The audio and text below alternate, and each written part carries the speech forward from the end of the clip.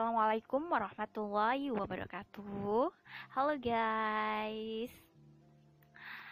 Okay, this opportunity I will join you for learn Indonesia language.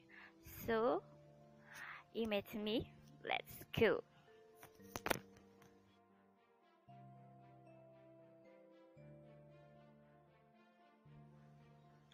I we say saya atau or in Indonesia. Saya or aku.